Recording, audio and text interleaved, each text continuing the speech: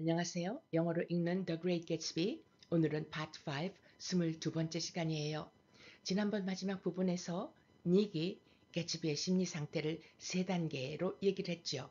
맨 처음에는 내 어찌할 바를 모르는 당황, 두 번째는 이성을 잃을 정도의 기쁨, 세 번째는 이제 감탄, 경의의 단계로 들어섰다 그랬어요. 자, 오늘 이야기 계속해 볼게요. 여기 사진을 보면 태엽을 감는 시계 모습이에요. 예전에는 큰 벽시계들 다 이렇게 태엽을 감는 시계 구조였거든요.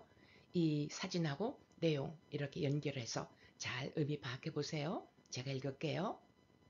He had been full of the idea so long, dreamed it right through to the end, waited with his teeth set, so to speak, at an inconceivable pitch of intensity. Now, in the reaction, he was running down like an overwound clock. 밑에 단어를 보면 so to speak, 소위 말하자면 inconceivable, 생각조차도 할 수 없는 pitch, 최고죠. intensity, 강렬함, overwound, 이거는 wind, wound, wound, 태엽 감다라는 동사의 과거분사 over니까 지나치게 태엽이 감긴. 자, 내용 보죠. He had been full of the idea so long. 개츠비는 이 아이디어로 오랫동안 머릿속에 가득 차 있었다.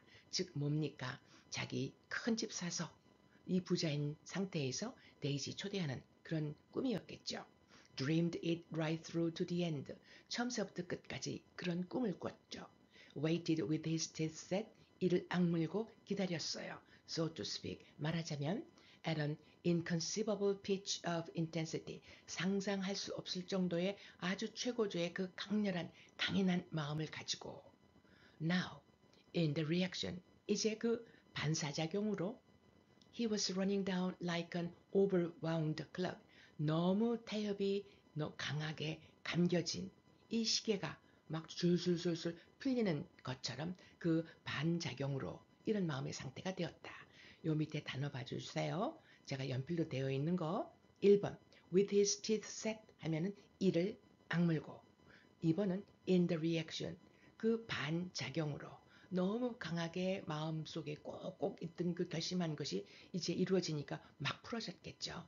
그 반사작용으로 반작용으로 이런 상태가 된 거예요. 다음 이야기 빨리 볼까요? 이 사진은 옷이 아주 잘 정돈되어 들어있는 옷장이네요. 제가 읽을게요. Recovering himself in a minute, he opened for us two hulking patterned cabinets which held his massed suits and dressing gowns and ties and his shirts piled like bricks in stacks a dozen high. I've got a man in England who buys me clothes. he sends over a selection of things at the beginning of each season, spring and fall. 네, 개츠비의 옷장이에요.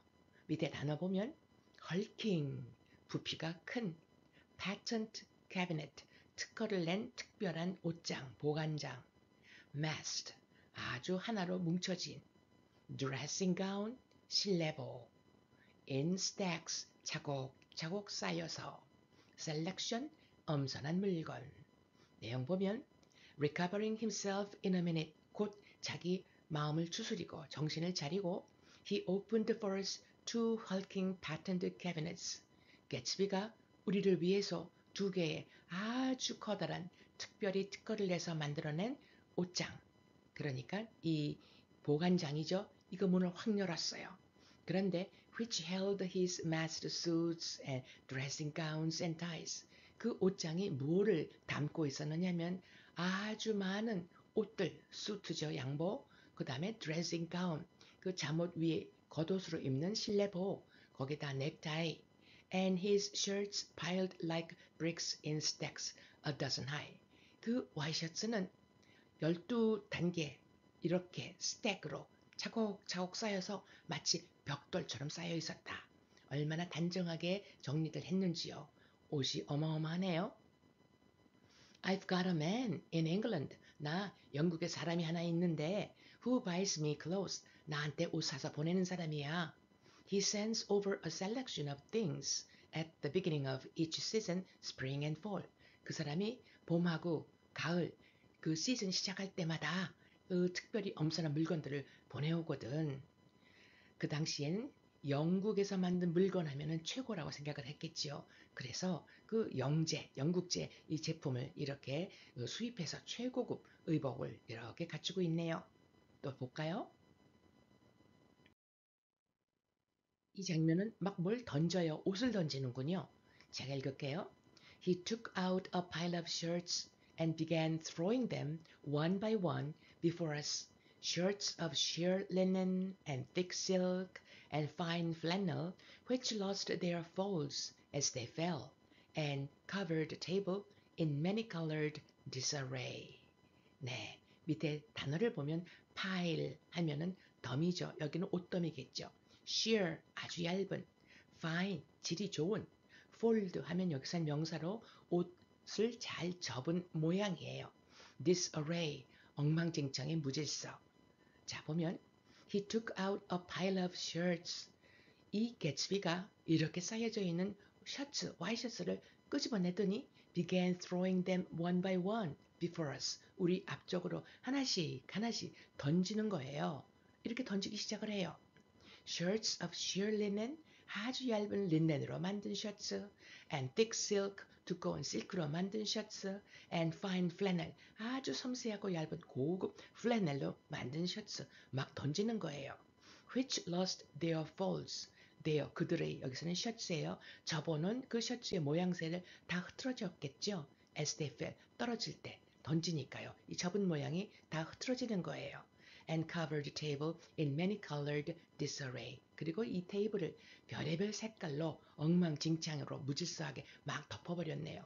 옷을 던지네요. 이 심리 상태 이해가 되세요? 좋아서 어쩔 줄 모르는 완전히 그런 단계로 들어섰네요.